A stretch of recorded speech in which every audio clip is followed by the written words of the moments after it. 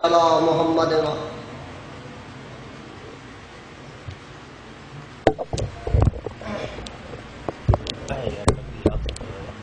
آغاز تھا سکیفہ ہر کام کربلا ہے آغاز تھا سکیفہ انجام کربلا ہے پھر اس کے بعد دیکھی ہر کام کربلا ہے خون حسین ہی سے رنگی رہے گی دنیا ہر چھپ کربلا ہے ہر شام کربلا ہے علامہ صاحب دی امن واسطے ایک ربائی عرض کرنا چاہنا۔ علی کا نام اسم آدم۔ ہے علی کا نام لینے سے تقدیر بدل جاتی ہے۔ بد شکل ہو انسان تو تصویر بدل جاتی ہے۔ گھر آئے مشکل۔ پڑھ ناد علی۔ لوہے محفوظ پہ لکھی ہوئی تاریخ بدل جاتی ہے، نعرہ حیدری۔ ہوں سارے سامنے خطیب ولایت امیر المومنین علی ابن ابی طالب علیہ السلام ابو الفساد محقق کے دوران، مفسر قرآن، سلطان العلماء علامہ غزن فرما توسی کتاب فرما اللہم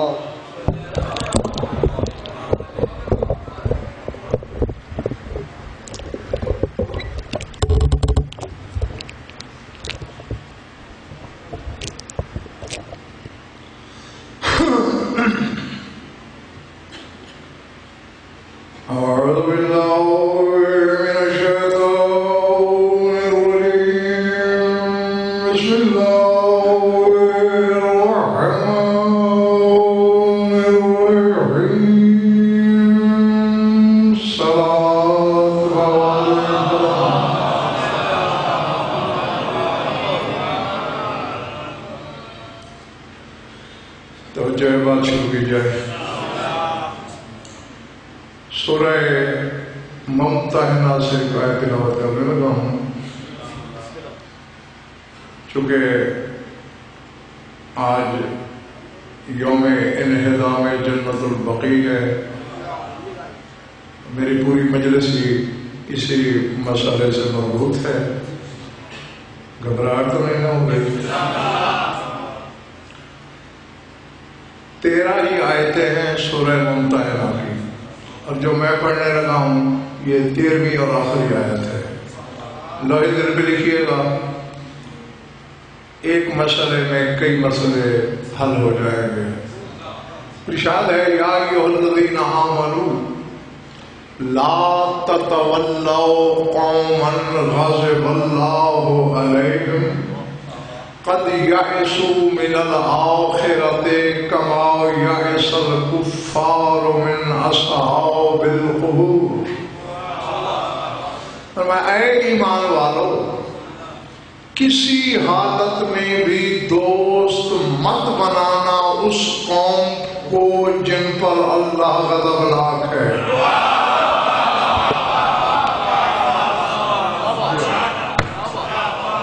جیتے رہو۔ سمجھ میں آ رہی بات؟ یا ایو الذین آمنوا لا تتولا قوما، نہ تولا رکھنا، نہ بلا رکھنا، نہ دوستی رکھنا قوما، اس قوم کے ساتھ۔ غضب اللہ علیہم، جن پر اللہ کا غضب ہے۔ مالک، کیا جرم ہے؟ جاگرن فرمایا، قد یعس من الاخرت کما یعس الکفار من اصحاب القلوب. یہ لوگ آخرت سے ایسے مایوس ہیں جیسے کافر قبروں والوں سے مایوس ہیں۔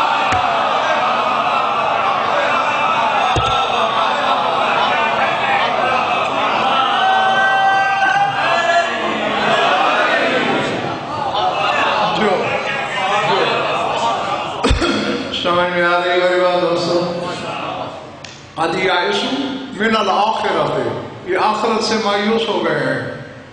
کیسے؟ کمائی آئس الکفارو من اصحاب القلوب۔ جیسے قبروں والوں سے کافر مایوس ہیں۔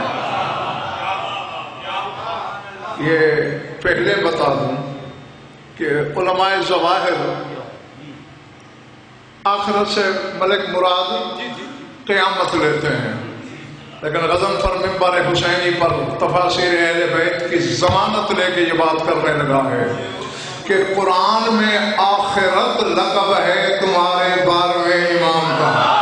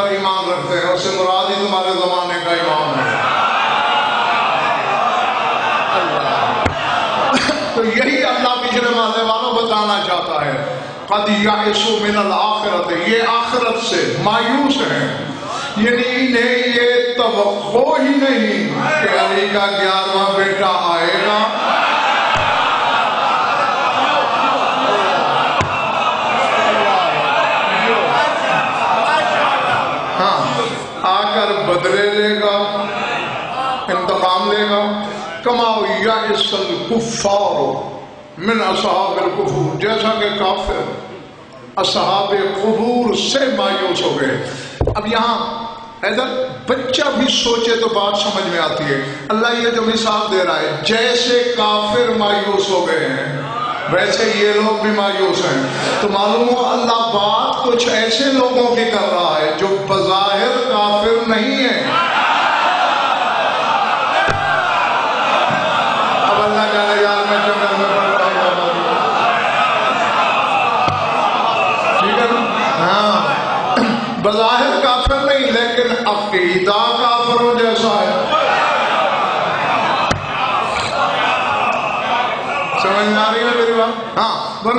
کیوں کہتا کماؤ یا ایسا کفارو من اصحاب القبور جیسا کہ اصحاب قبور سے کافر مایوس ہیں تو یہ بھی شریخان قرآن نے عقیدہ دے دیا کہ قبروں سے مایوسی کافروں کا عقیدہ ہے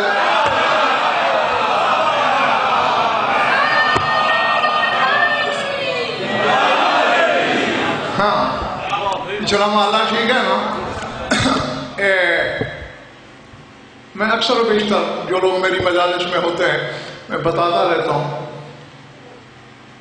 اور جنہوں نے نہیں سنا، وہ سن لیں۔ قرآن کی ہر آیت کی ستر ظاہری تفسیر ہوتی ہے ستر باطنی۔ یعنی ایک آیت کی ایک سو چالیس تفسیریں اور ساری حق۔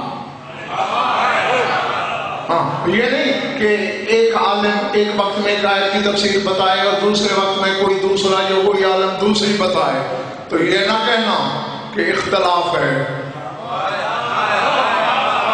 اور یہ بخاری والوں ایک سو چالیس بھی ہمارے علم کی رسائی ہے۔ ورنہ جو قرآن کے وارث ہیں جن پہ نازل ہوا۔ رسول تو فرماتے ہیں ماں من حرف من حروف القرآن الا ولہ سبعون الف مانا کہ قرآن کے ایک ایک حرف کے ستر ستر ہزار معنی ہیں۔ ہیں؟ اور آگے مجھے عزت حیدر کے قسم رسول نے خود مثال دی کہ الف لام میم کو ایک حرف نہ سمجھنا۔ فرماتے الف الگ حرف ہے، لام الگ حرف ہے، میم الگ حرف۔ تو یعنی دو لاکھ دس ہزار تفسیریں ہیں الف لام میم کی۔ تو اسی طرح اب میں آیت پڑھتا ہوں اور اس کی ایک ایسی تفسیر سنانے لگا ہوں مطلب جو آج سے پہلے ممبر پہ کسی نے نہیں بتائی آپ کو۔ اس کی ظاہری تفسیریں تو آپ سن چکے ہیں، مجھ سے بھی سنی ہوگی کہیں، اور علماء سے بھی۔ لیکن آگے کا ایک قدم بڑھا رہا ہوں۔ ون نجم اذا ہوا۔ قسم ہے اس ستارے کی جو پیشانی کے بل ہے۔ اللہ۔ ہاں کوشش کرنا سنبھال لینے کی۔ مجھے افسوس نہ ہو کہ میں نے بے محل علم کی منڈی سے جا دی تھی۔ ایک تو وہی تفسیر ہے، شاہ جی جو ستارہ اترا۔ امیر کائنات کی چوکٹ پہ۔ نزول تارے کا زنشا ایک تھا۔ فیصلے اس نے اتر کے دو کیے تھے۔ ایک رسول کے جانشین کا، دوسرے رسول کے داماد کا۔ ہاں؟ یہ تو ہے ظاہری تفسیر۔ آؤ، باطنی تفسیر بتاؤ۔ یہ ممبر کے خلاف میں میرا ہاتھ ہے، دیکھ رہے ہو؟ بکھاری کے اس ممبر سے لے کر نجف اشرف کے حوضہ علمیہ تک ضامن تمہارے اس گنے جانے والے ہجوم سے لے کر ہجوم حشر تک اللہ کی عدالت میں بھی ضامن تمہارے مولا سرکار باکر سے کسی نے پوچھا، یہ کس ستارے کی قسم کھا رہا ہے؟ بطول کی چادر کی قسم میرے مولا نے فرمایا اقسما بے قبر رسول اللہ ہے اللہ نے اس آیت میں میرے نانا کی قبر کی قسم کھائی ہے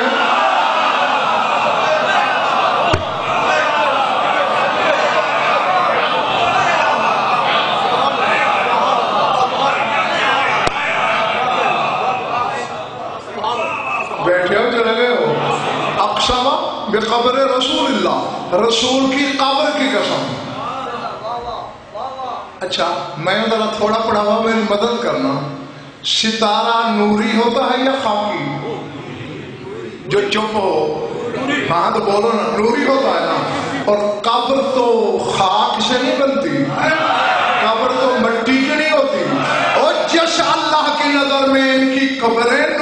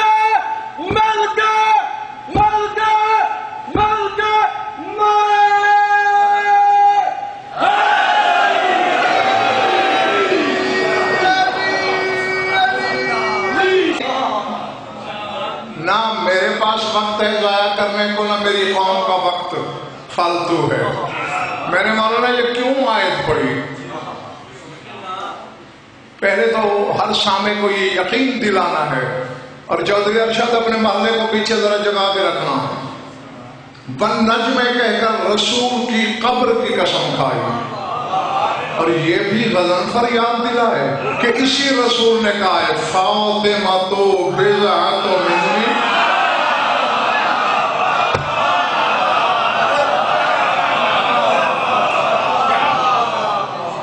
بیٹھے ہوئے یا چلے گئے ہو؟ تو پھر اگر ایسا حدیث پر ایمان ہے، تو پھر ماننا پڑے گا کہ اس کی قبر بھی اتنی محترم ہے کہ وہ قسمیں کھائے۔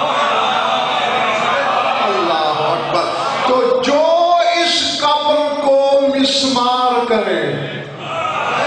اس نے خاک کو مسمار نہیں کیا، اللہ کی قسم کے ٹکڑے کیے۔ اللہ۔ اب پتہ سے گزر گیا ہے جملہ۔ سمجھ میں آتا ہے یہ بات نہیں؟ ہاں اب یعنی یہاں دیکھنا کہ کیا تاثیر ہو سکتی ہے اس زمین کی؟ جس میں ان کے ابدان طاہرہ چھپتے ہیں۔ یہ وہ خاندان ہے ان کا کوئی کمی گھوڑے پہ بیٹھ جائے، اس گھوڑے کے سم کے نیچے جو مٹی آ جائے، کسی بے جان پہ چٹکی ڈال دو، اس میں جان آ جاتی ہے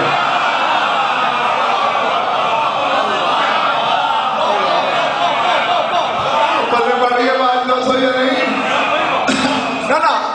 غزل پر اس وقت تک بات کرنا تو دور کی بات، سوچنا بھی گناہ سمجھتا ہے، جب تک پہاڑ جتنی بدنی دلیل نہ ہو۔ سامری نے ایک بچڑا بنایا تھا۔ بت تھا، بے جان تھا، یا مٹی کا تھا، یا تانبے کا تھا۔ دونوں صورتوں میں بے جان ہی ہے۔ لیکن قرآن کہتا ہے، سورہ تاہ پڑھنا، فَأَخْرَجَ لَهُمْ عِجْلًا جَسَدًا لَهُ خُوَارٌ وہ بچڑا ڈکراتا تھا، بولتا تھا۔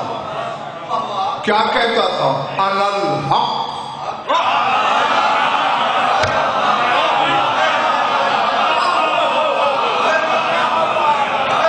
اب میں نہیں جانتا، سارے ماننے والے ہیں، میرے سامنے جب کچھ سوچ کے بھی مار دیے ہیں۔ وہ پچھڑا کہتا تھا۔ انا اللہ میں حق ہوں اور یہ واقعہ میرے عزیز تب کا ہے حضرت جب حضرت موسیٰ چالیس رات تھے تور پہ میقات کی گزارنے گئے۔ پیچھے یہ واقعہ ہو گیا۔ آیا؟ بچڑے کا لوگ سجدہ کر رہے ہیں۔ وہ یہ کیا؟ یوں الحق کہتا ہے۔ بنایا کس نے؟ سامری نے۔ سامری کو پکڑا۔ سزا تو تجھے بعد میں دوں گا۔ پہلے یہ بتا تو نے بے جان میں جان کیسے ڈالی؟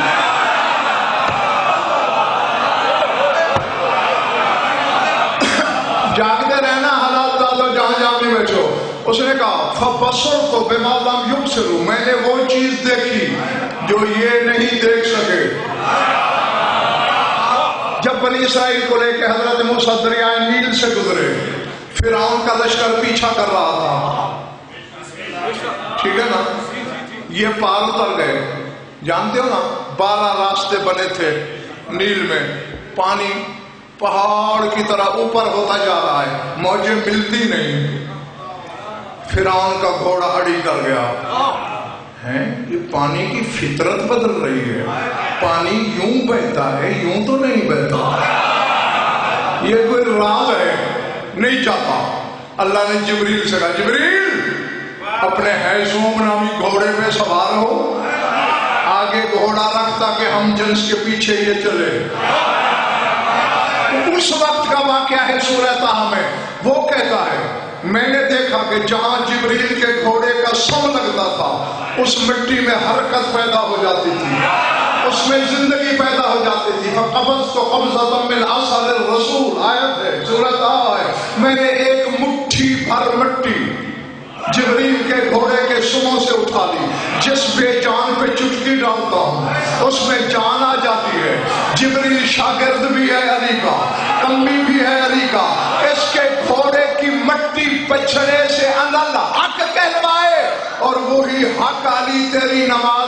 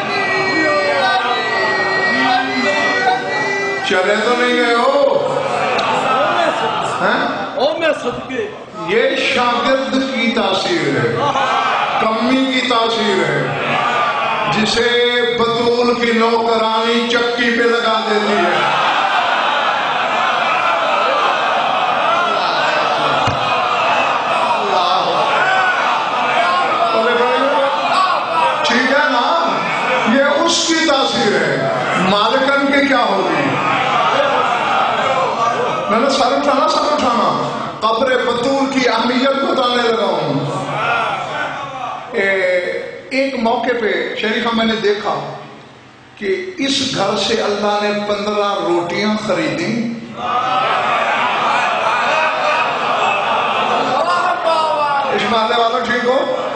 کتنی روٹیاں اچھا وہ گندم کی بھی حسین شاہ نہیں تھی، جو کی تھی۔ تیس آیتوں میں ملک قصیدہ پڑھا۔ دین، دنیا، برزخ، آخرت کی ہر نعمت دے کے تون یہاں توڑی ازا رائیتا سما رائیتا نعیمن و ملکن کبیرہ ساری نعمتیں تمہاری۔ ملک کبیر کی سلطنت تمہاری۔ اور پھر کہتا ہے اچھا اب ایمان سے کہو۔ اے، میں ملک سے کوئی چیز خریدتا ہوں۔ وہ چیز ہے پانچ سو کی۔ میں خرید کے اگر کہوں جی آپ کی بڑی مہربانی، آپ نے مجھے چیز دی۔ اس کا مطلب ہے میں نے پانچ سو نہیں دیا ہوگا۔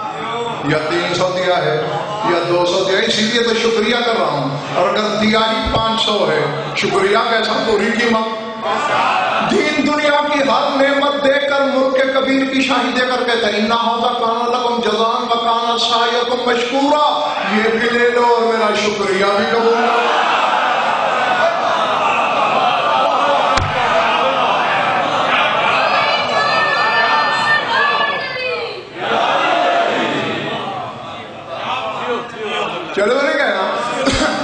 اچھا کیوں میرے مالک؟ روٹیاں جو کی۔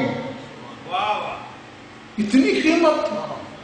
آواز قدرت بدن پر جی نہ پک میں نے جو تھوڑی خریدے ہیں۔ میں نے روٹیاں تھوڑی خریدی ہیں۔ پکائی کس نے؟ میں نے تو بطور کے ہاتھوں کا لمس خریدا ہے۔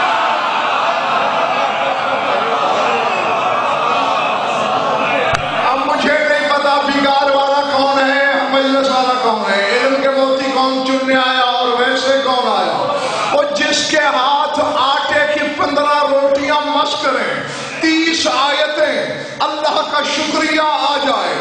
اور جس قبر میں وہ خود رہتی ہے۔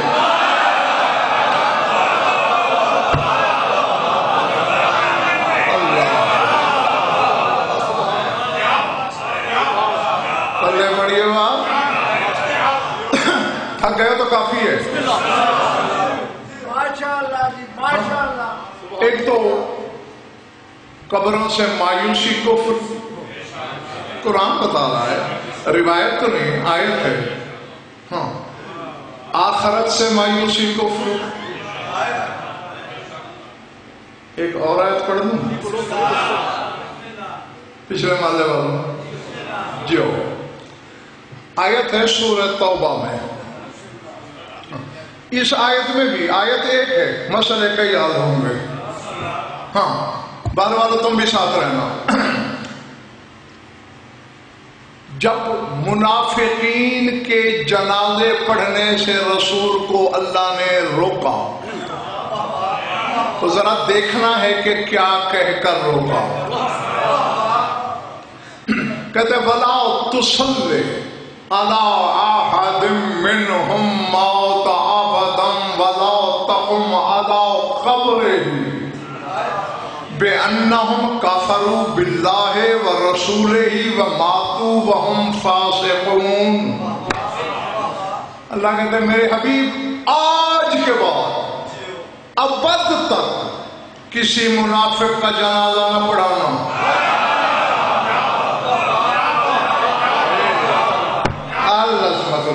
ہاں جو یہاں ہے وہ تھوڑی دیر بعد یہاں نہیں ہوں گے، وہ لامکانی میں ہوں گے۔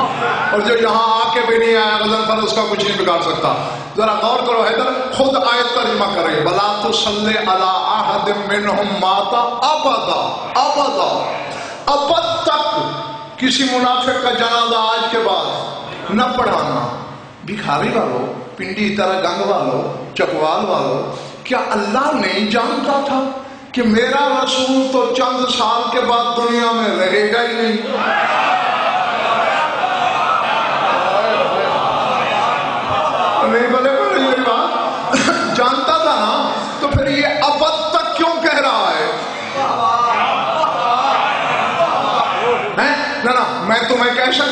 کہ سو سال تک میری مجلس سننا مجھے پتہ ہی نہیں۔ اللہ تو جانتا ہے۔ تو کیوں کہہ رہا ابد تک ابد تو اللہ جانے کروڑوں قیامتوں کے بھی بعد ہے۔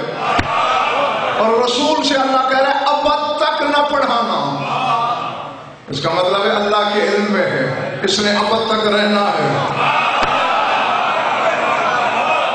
اگر مر جانے والا ہوتا تو ابد کیوں کہتا دوستو اور پھر نہیں نہیں سر اٹھانا اور کیا کیا؟ یا تو یہ کہتا نا کسی کا ابد تک نہ پڑھانا۔ کہتے ہیں منافقین کا نہ پڑھانا۔ اس کا مطلب ہے مومن کا پڑھانا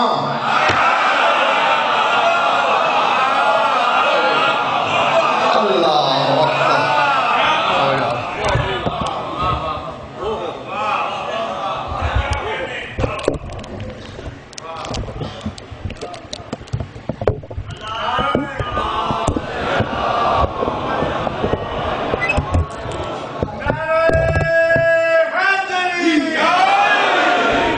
پلے بڑی بات جو مطلب کہ مومن کا پڑھانا اور قید ہے ابد کی ہیں؟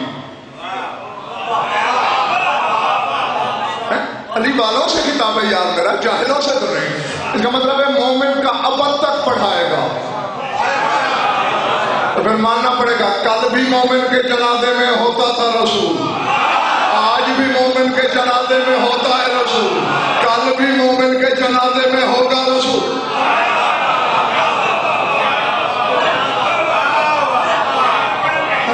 نہیں، میں اگر شری اسی پر ہی بولنا شروع کر دوں نا، آدھی رات ڈر جائے گی۔ میری دلیلیں ختم نہیں ہوں گی۔ ہاں ایک بات کہہ کے آگے چلتا ہوں۔ زیارات پہ گئے ہو کبھی؟ ایران میں نیشا پور میں بی بی شتیتا کا مزار ہے۔ ہے نا؟ یہ تمہارے ساتویں امام کے زمانے میں تھی۔ یہ بی بی شتیتا۔ ہاں تھی بڑی غریب۔ مولا کے وکیل نے جب علاقے سے خون سے اکٹھا کیا نا، تو اس نے دو درہم اور ایک سود کی اٹی کہ اس نے کہا، یہ اتنا؟ کہا، اللہ اللہ یستحی من الحق۔ اللہ حق سے حیا نہیں کرتا مولا کا میرے مال میں یہی حق بنتا ہے، میں دے رہی ہوں۔ اس نے بے پرواہی سے لے کے رکھ لیا۔ اس وقت بیس بیس ہزار دینار ایک ایک بندہ اور ایک دینار ایک تولہ سونا ہوتا ہے۔ لے کے آیا۔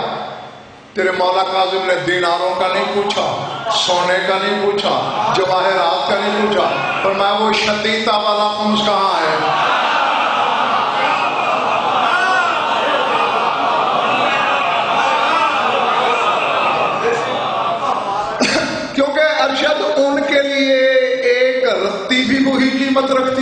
اور کونین بھی ہاں. پیش کیا. پر میں ہم مقدار کو نہیں دیکھتے. یہاں دیکھتے ہیں. ہاں کہ کون کس نیت سے دے رہا ہے. اور چلتے وقت مولا نے اسے بیس درہم دیے. اپنے وکیل کو کہ یہ شدیدہ کو دے دینا اور اسے کہنا کہ جب تو وہاں پہنچے گا تو اس کے پندرہ دن بعد وہ مر جائے گی. یہ میرے مال سے اس کا کفن لینا۔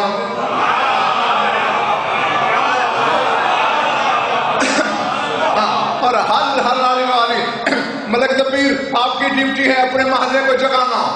اور مولا نے کہا اپنے وکیل سے جب جنازہ پڑھایا جائے گا میں بھی آؤں گا۔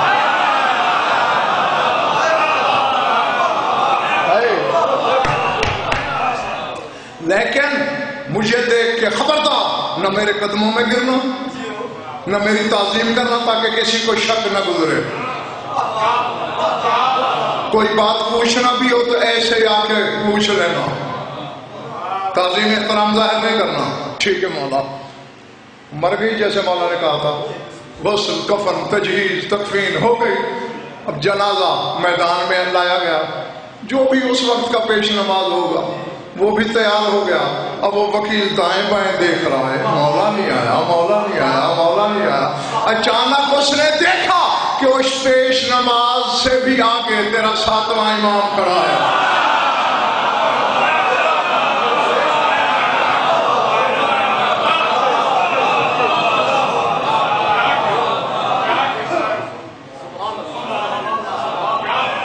ادھر والا ٹھیک بیٹھے ہو پڑھ لیا جنازہ اور اب سر اٹھانا۔ جب فارغ ہو کے پلٹنے لگے نا۔ ظاہر میں ملک پیش نماز ہے، اور اس سے بھی آگے۔ یہاں حسنین شاہ جی ایک اور جملہ مجھے یاد آ گیا ادھر بیٹھے کہتا چلوں بھائیوں کی جوڑی بیٹھی ہوئی تھی اپنے نانا کی مسجد میں۔ سمجھ گئے ہو ہاں جوڑی بولا جائے تو بس ایک ہی جوڑی ہوتی ایک مومن نے بڑے سے کہا تیرے مولا حسن سے مولا میں تو ایک بات سوچ سوچ کے حیران ہو رہا ہوں کہ تیرا مقام کیا ہے کیا تو وہ ہے جس نے علی کا جنازہ پڑھایا جاگنا پتہ نہیں کبھی کبھی بندہ کس مزاج میں ہوتا ہے، کس مجد میں ہوتا ہے، کس لہر میں ہوتا ہے۔ میرا ساتھ دینا۔ مولا علی کا جنازہ یا مصطفیٰ پڑھائے۔ یا زبانی، بے زبانی سے کبریا پڑھائے۔ اور ظاہر میں تو نے پڑھایا۔ مولا بڑا مقام ہے تیرا۔ مجھے بطول کی عزت کی قسم، چھوٹا۔ تیرا مولا حسین، سلطان کربلا، مسکرایا۔ ان مومن نے پوچھا، مولا، آپ میری بات پہ مسکرائے کیوں ہیں؟ اسے تو حسین نے کچھ نہیں کہا۔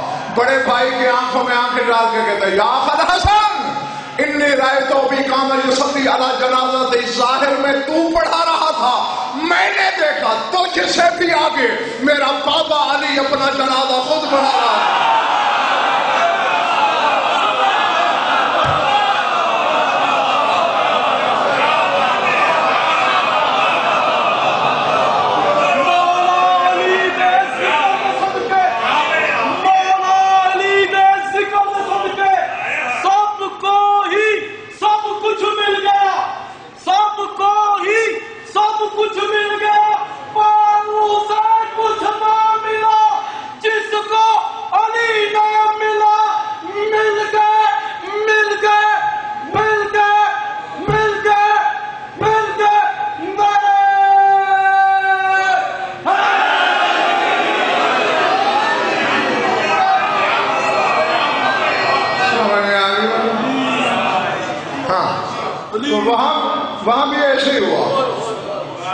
نماز سے آگے۔ تیرا ساتواں امام جنازہ پڑھا رہا ہے۔ اب سر اٹھانا، میری آنکھوں میں آ کے رکھنا۔ اور وہ وکیل جو مولانا تھا مولا کا، وہ تیزی سے آگے بڑھا۔ مولا پھر یہ وقت؟ صرف تمن بغداد۔ مولا، بغداد سے کس وقت چلے تھے؟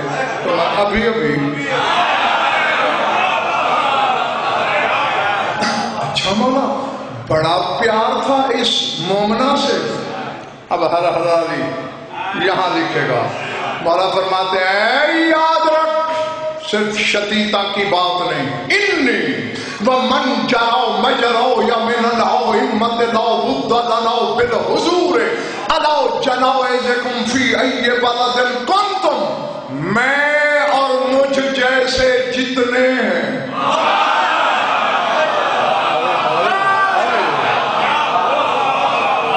بیٹھے ہو یا چلے گئے ہو میں اور جو بھی مجھ جیسے ہیں لابد لگا بالحضور علی جنائزکم فی ای بلد کنتم ہم پر واجب ہے کہ ہم اپنے ہر حکمدار کے جنازے پہ آئیں، چاہے وہ جس شہر میں بھی مر جائے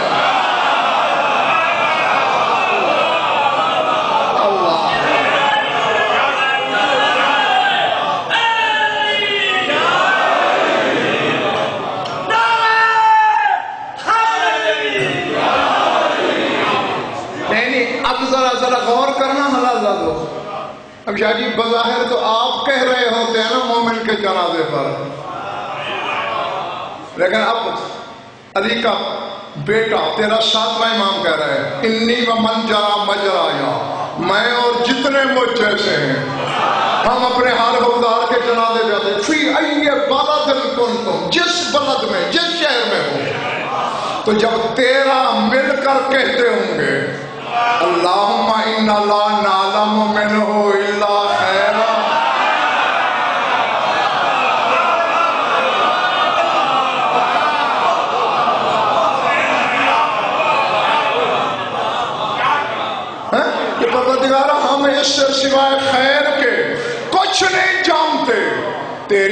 گواہی کی کیا حیثیت ہے؟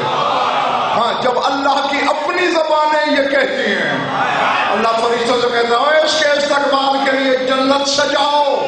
لسان اللہ کہہ رہی ہے کہ خیر کے سوا کچھ نہیں۔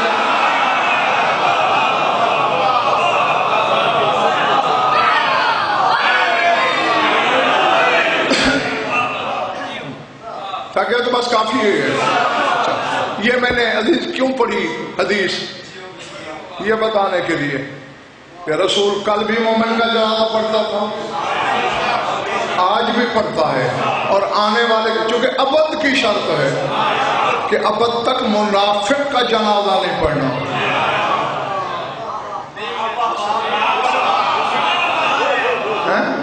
ولا تصلی علی احد منهم مات ابدا ابد تک منافق کا نہ پڑھنا، اور سر اٹھانا۔ ولا تقم علی قبره اور کسی منافق کی قبر پہ کھڑے بھی مت ہونا۔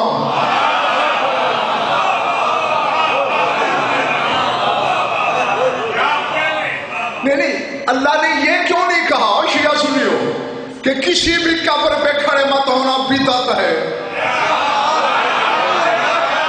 میں جنگل میں تو نہیں نہ خطاب کر رہا۔ اللہ کہتا ہے منافق کی قبر پہ کھڑے اس کا مطلب ہے مومن کی قبر پہ کھڑے ہونا۔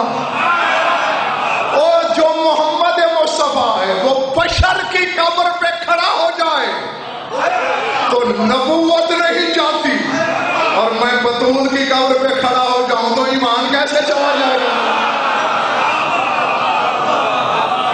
اللہ اللہ زندگی والا چلے تو نہیں گئے ہو نا اے، ظاہر ہے ہر بات میں، ہر مجلس میں بہت کچھ چھوڑنا پڑتا ہے۔ کیا کیا بیان ہو سکتا ہے؟ ایک بیان میں میری آنکھوں میں آ کے رکھنا۔ یہ شیعہ کتابوں سے نہیں، برادران اہل سنت کی کتابوں سے بتا رہا ہوں آپ کو۔ بتاؤں؟ پچھلے محلے کا دل نہیں ہے ایک بندہ تیرے رسول کے پاس آیا۔ ہاں۔ اگر کوئی آپ میں بھی بیٹھا ہے جو قبروں کو بدعت سمجھتا ہے، وہ ذرا کان یہاں والے بھی کھول لے۔ آیا؟ کہتے سرکار، میں نے ایک منت مانگی ہے۔ کام ہو گیا ہے۔ منت کیسے ادا کروں؟ سمجھ میں نہیں آ رہی۔ کیا مانا؟ میں نے منت مانی تھی کہ میں جنت کی چوکٹ کا بوسہ لوں گا۔ اور حور العین پیشانی کا بوسہ لوں گا سرکار نے پہلے تو غصے سے فرمایا، ایسی منتیں مانتے کیوں ہو جو مقدور بھی نہیں ہے؟ تجھے یقین ہے کہ تو جنت تک جائے گا؟ اور اچھا چلو جائے بھی تو وہ تو آخرت کی بات ہے، قیامت کی۔ منت تو دنیا میں دینی ہے۔ سرکار، اب کیا کروں؟ پر میں اب ایسا کرو جا کر باپ کی پیشانی چوم لو ماں کے قدم چوم لو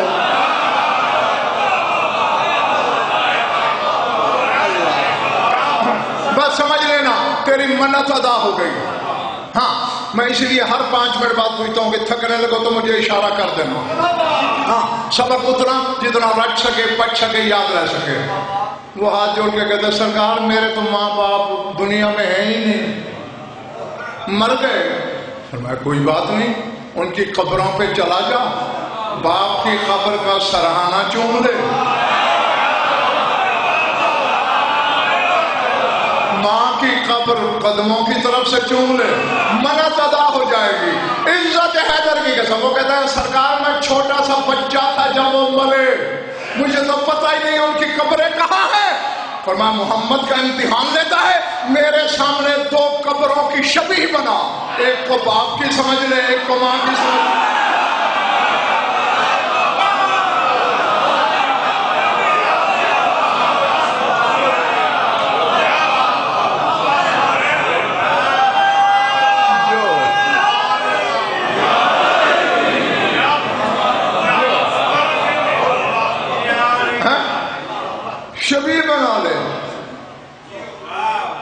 ذرا سوچ رہا ہوں۔ بشر ہیں، عام انسان ہیں، ان کی قبروں کی شبی۔ ایک کو دہلیز جنت کی مثال دی رسول نے۔ ایک کو حور العین کی جبین دی۔ اور حوریں جس کی کنیزیں ہیں، اس کی خبر کیا ہوگی یار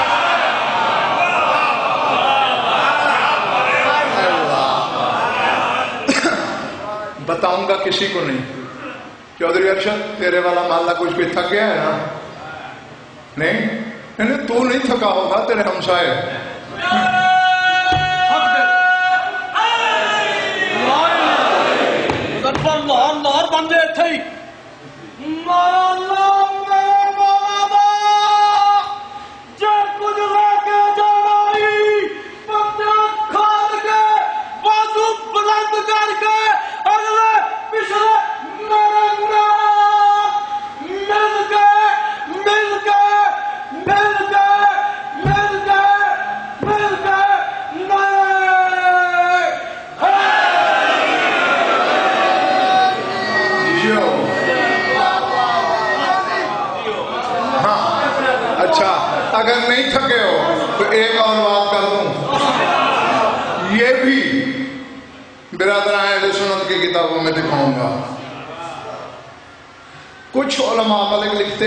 شریف کہ یہ حضرت داؤد کے زمانے کا واقعہ ہے۔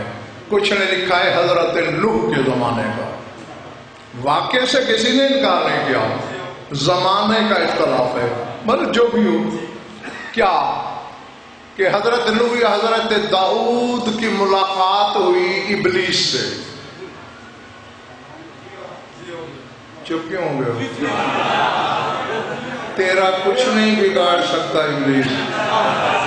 ہاں بس البتہ ایک چیز سے بچے رہنا کیونکہ سرکار صادق کے آل محمد فرمائے آتے ہیں، اللہ اللہ لکم فی ابلیس فإنہ یواقبکم۔ اور ہمارے حکمداروں تمہیں اللہ شیطان سے بچائے وہ تمہارے پیچھے لگا ہوا ہے۔ موالے نے گھبرا کے کہا، مولا، ہم نے اس ملون کا کیا بگاڑا ہے؟ باقی دنیا۔ تو میں امبل باقونا قد فرق منہم کہا باقیوں کو تو علی سے پھیر کے فارغ ہو چکا۔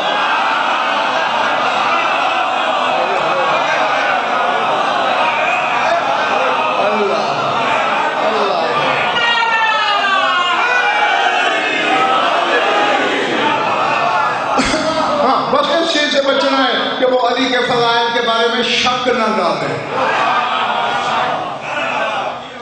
تو حضرت داؤد نے پوچھا اس سے اے ملعون، اے تجھے حیا نہیں آئی چھ لاکھ سال کی عبادت ایک سجدے کے بدلے ضائع کر دی۔ تو تو وہ عابد تھا، دو دو رکعت چھ چھ ہزار سال میں پڑھتا تھا۔ زمین کے چپے چپے پہ سجدے کیے آسمانوں پہ پہنچا۔ معلم الملکوت بن گیا، فرشتوں کا بھی استاد۔ ایک سجدہ۔ جاگنا میں زیادہ تنگ نہیں کرنا تمہیں، سمیٹتا ہوں۔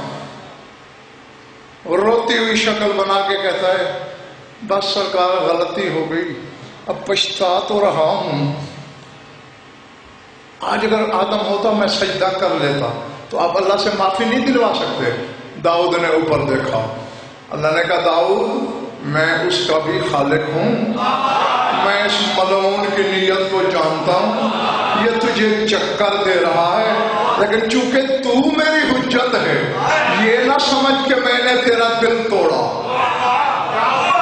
اس سے پوچھ کہ آدم ہوتا تو سجدہ کرتا ہاں جی ضرور کرتا اللہ کہتا ہے اسے کہے، آج بھی آدم کی قبر کا سجدہ کر لے گناہ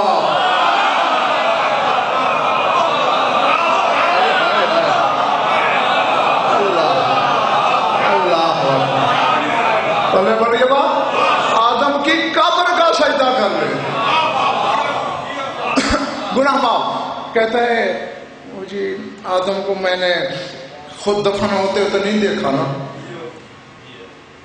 مجھے یقین ہی نہیں ہوگا کہ جو تم بتاؤ گے یہی خبر ہے آدم کی۔ بس اللہ سے تو معافی دلوانی ہے تو یہیں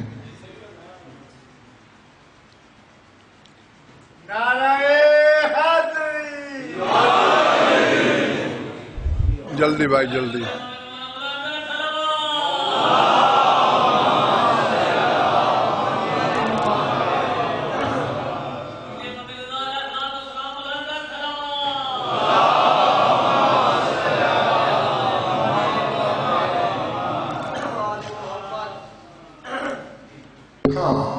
بات کہاں تھی؟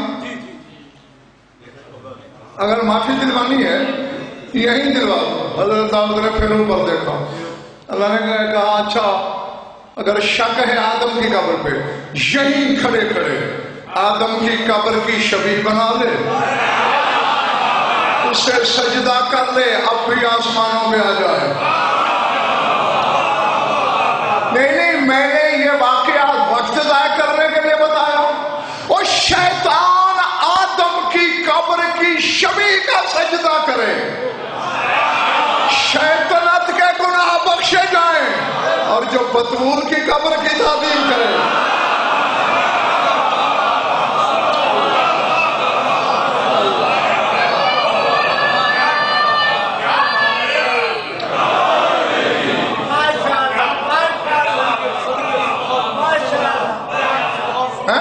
اور جو بطور کے بیٹے کی مجسم شبی کی تعظیم کرے۔ اس کے انسانی گناہ بھی نہیں بخشے جا سکتے۔ کجا آدم؟ کجا بطور؟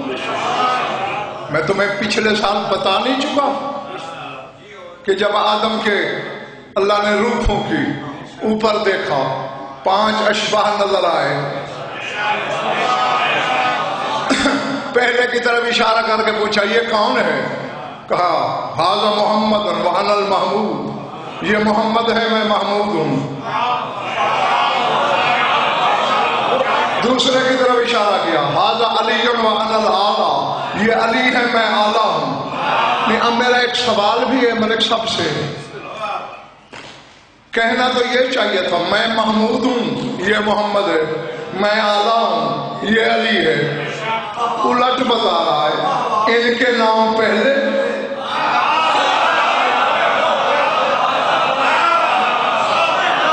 اپنا بعد میں، تو تو سست ہو گیا ہے نا، میں نے اللہ سے پوچھا تھا۔ اللہ میاں، یہ راز کیا ہے؟ آواز قدرت ہے چاہل نہ بن، میں چھپی ہوئی حقیقت ہوں۔ تو نے دیکھا نہیں، میں نے تو اپنا قرآن بھی اللہ سے شروع نہیں کیا، بسم اللہ سے شروع کیا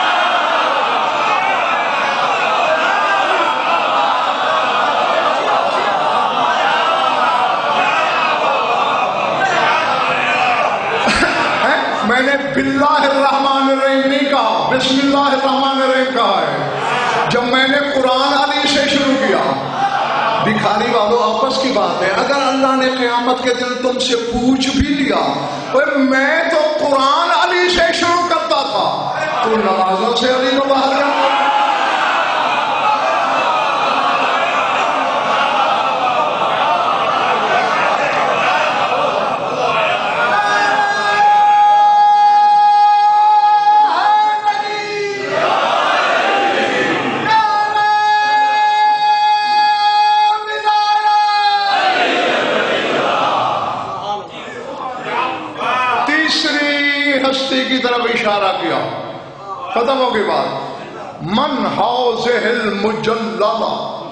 پڑھنے والے، یہ جلال کے پردے والی بی بی کون ہے؟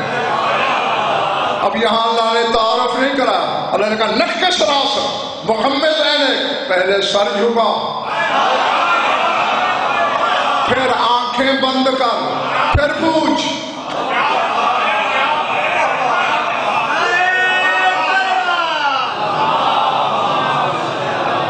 میری خطابت کی گاڑی درود سے نہیں چلتی، بزرگوار۔ نعرے سے چلتی ہے۔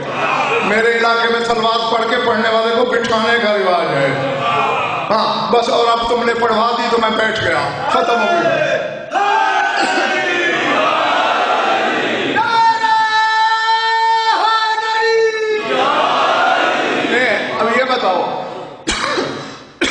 میں یہ دیکھ رہا ہوں اوپر۔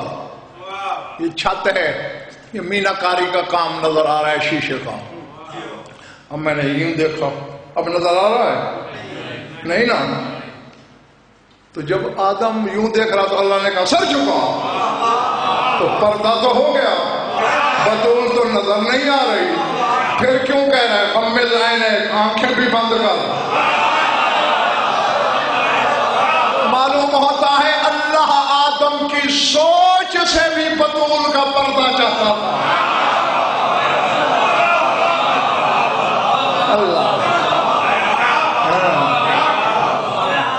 بتاؤ آدم کی قبر کی شبیہ کا سجدہ ابلیس کے گناہ معاف کرا دے۔ اور جو یہ ہے،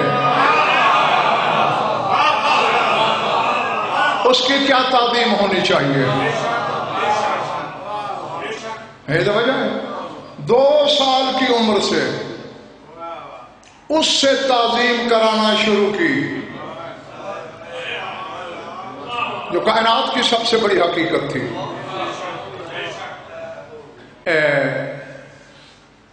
ایک حدیث قدسی تمہیں بتا دیتا ہوں۔ اور اگر وہی تمہاری سمجھ میں آ گئی تو شاید مجھے آگے پڑھنا ہی نہ پڑے۔ یہ تو میں کئی دفعہ بتا چکا ہوں نا، جو کلام جبریل لایا، وہ قرآن۔ اور جو اللہ نے اپنے محبوب سے براہ راست گفتگو کی، وہ حدیث قدسی۔ اس حدیث قدسی میں اللہ کہتا ہے، انا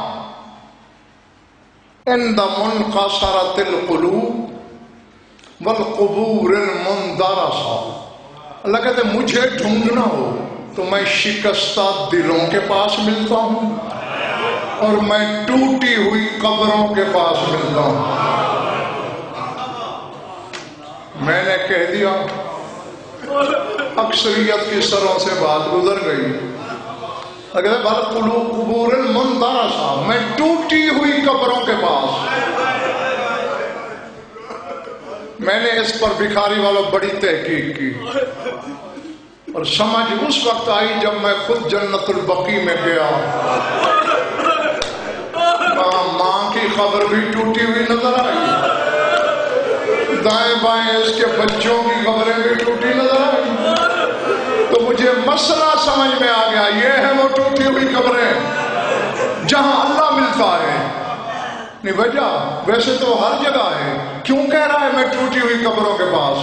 کیونکہ اس نے نگاہ بے نگاہی سے دیکھا، نہ یہاں کوئی عزاداری کرنے والا، نہ یہاں کوئی ان کا ماتم کرنے والا، وہ بے جسم یہاں عزاداری کرتا ہے۔ اللہ اکبر۔ چونکہ اس کے جلال کے پردے کی مالک تھی، محبوب پر حکم تھا۔ تعظیم کیا کر۔ جب سورہ فاتر کی آیت اتری نا، فقل سلام اللہ عباد نصطفیٰ جو خود محمد مصطفیٰ ہے، اسے کہہ رہا ہے، جن کو میں نے مصطفیٰ کیا، ان پہ سلام کیا کر۔ یہ علماء اہل سنت نے بھی لکھا، اس دن کے بعد مسجد میں جاتے ہوئے سلام کر کے جاتا۔ بیٹی کے دروازے پر۔ اور واپسی پر۔ جب تک بات سے فارغ ہو لیتا نا، پھر بیٹی کے دروازے پہ آتا۔ اب فقط سلام نہ کرتا، بلکہ ایک جملہ پڑھاتا۔ یا اہل بیت النبوہ حلی من اذن ان ادخل بیتکم۔ اے اہل بیت، اجازت ہے، اندر آ تیری سوچ سے پہلے میں دعا مانگنے لگا ہوں، ممبر چھوڑنے لگا ہوں۔ دو کے دو فکرے کہنے ہیں اس یقین کے ساتھ کہ جس سینے میں گوشت ہے، وہ جہاں یاد آئے گا رونے کے لیے کافی۔ ایک دن تیری مخدومہ تین کام کر رہی تھی اکٹھے۔ بلا تشبیح چکی بھی چلا رہی تھی، تسبیح بھی کر رہی تھی۔ اور بلا تشبیح پاؤں کی انگلیوں میں حسین کے گہوارے کی ڈور پھنسا کے جھولا بھی جھلا رہی تھی۔ یہ میرے جڑے ہوئے ہاتھ دیکھ لو تمہارے دل کو چوٹ لگانے لگا ہوں۔ خون رونے والا تم میں کہیں نہ کہیں ہے۔ اسی کی گواہی میں جملہ کہنا ہے اور اللہ مجھے معاف کر دینا۔ اچانک بی بی نے چکی روکی، دستے سے ہاتھ اٹھا دستہ رنگین نظر آیا۔ بس میں نے جو کہنا تھا وہ میں کہہ گیا ہوں دستے کا رنگ سرخ تھا حوروں نے مسلح چھوڑ دیے فرشتوں نے تسبیحیں ڈال دی مالک جن کی جوتیوں کے صدقے ہم بنے وہ اتنی تکلیف میں اس کے ہاتھ زخمی ہو گئے اللہ نے کہا احتجاج نہ کرو میں اپنی کنیز پر نیند غالب کرتا ہوں جبریل دو فرشتوں کو ساتھ لے ایک جا کے چکی چلاؤ ایک تسبیح پڑھ کے اس کے حکمداروں کے نام عمل میں لکھو۔ ایک حسین کا جھولا جھلاؤ۔ رونے والوں بی بی پہ نیند غالب ہوگی۔ عادت کے مطابق تیرا رسول دروازے پہ آیا۔ اے اہل بیت، اجازت ہے اندر آؤں۔ فضا دوڑی دوڑی باہر آئی۔ سرکار، بی بی تو سوئی ہوئی ہے۔ لیکن راز ہے چکی چل رہی ہے۔ چلانے والا نظر نہیں آتا۔ تسبیح کے دانے گر رہے ہیں۔ پھرانے والا ہاتھ نظر نہیں آتا، جھولا جنبش میں ہے جھولانے والا نظر نہیں آتا۔ رسول نے تڑپے گا نہ جگانا، جسے وہ سلانا چاہے۔ اللہ۔ بس ایک ہی منٹ باقی پڑھنا ہے میں نے۔ اسے میں نہیں جگانا چاہتا۔ تو سرکار پھر اندر آ جائیں کہا، جب تک اجازت نہ ملے۔ اندر کیسے آؤں؟ سرکار پھر گھر تشریف لے جائیں۔ جب بھی بھی جاگے کے بلا لوں گا، یہ بھی اس کا حکم نہیں ہے۔ بکھاری والوں چڑھتا رہا سورج، بڑھتی رہی گرمی، کھڑا رہا تیرا رسول۔ پسینے کی لڑیاں ٹوٹ ٹوٹ کے زمین کو تر کر رہی دو پہر کے قریب، تقریباً چھ گھنٹے بعد بطول کی آنکھ کھلی۔ فضا کو دیکھا دوڑتے ہوئے۔ فضا خیریت؟ فضا نے منہ پیٹ کے کہتا مر جاتی فضا۔ چھ گھنٹے ہو گئے تیرا بابا دروازے پہ کھڑا ہے۔ اب مجھے نہیں پتا کہ میرے سامنے کون کیا ہے۔ جیسے نشیب میں پانی آئے۔ بابا کا ہاتھ پکڑا، حجرے میں لائی۔ بلا تشبیح اپنی چادر تطہیر سے بابا کا پسینہ صاف کرتی ہے۔ رو کے کہتے، بابا کوئی ایسے بھی کرتا ہے؟ چھ گھنٹے کھڑے رہے۔ رسول نے سر چون کے کہا، اللہ کے حکم سے اپنی امت کو بتا رہا ہوں کہ میں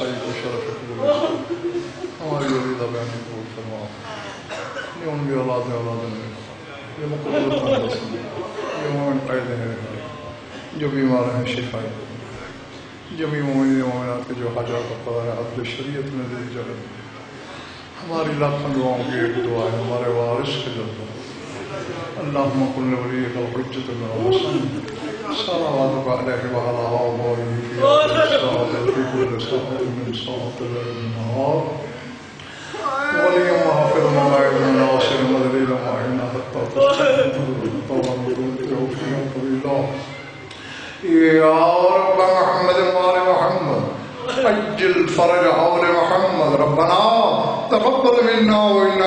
السميع العليم بجاه محمد وآل بيته